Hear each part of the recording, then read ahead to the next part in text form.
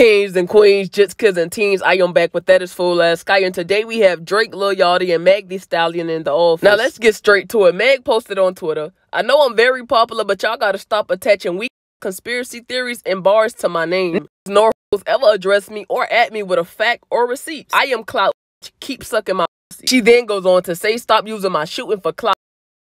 Since when is it cool to joke about women getting shot? You especially rap are lame. This is the message Meg sent Drake after listening to his new project and hearing the song she felt was if he was dissing her on.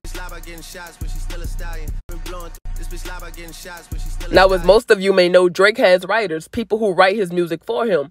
And Lil Yachty happens to be one of those writers on this specific song. And he lets it be known that he was not dissing Meg Thee Stallion. He was just talking about women lying about getting shots. I'm gonna clear this line up because I know Drake is not gonna do it. Has nothing to do with Megan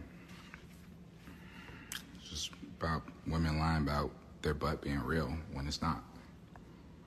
And like stallion as in like um like a like she's still like a she's still like fine like you know like a stallion, you know, that was it.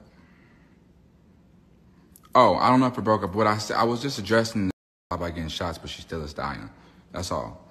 Uh, like about getting shots, like like a lot about her butt being real.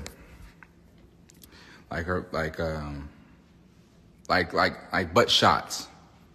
Lie about getting shots. In the song, Drake said, "This bitch lie about getting shots with an S at the end, but she's still a stallion." And some even believe that they were talking about this influencer, a tall woman who's been known for lying about getting butt shots. But Meg wasn't done. She then said, "And when the facts come out, remember all y'all favorite rappers that stood behind a nigga that shot a female. People attack me, y'all go up for it. I defend myself, now I'm doing too much. Every time it never ends. And this did not happen until I came out and said I got shot. Y'all don't with me, okay, cool, get bye. Meg boyfriend Pardi chimed in, who also do a lot of writing for industry rappers, and he said, I been knew I had one, a bad one, to make a nigga mad one. So here's the question. Do you all believe that this was a Meg Thee Stallion this?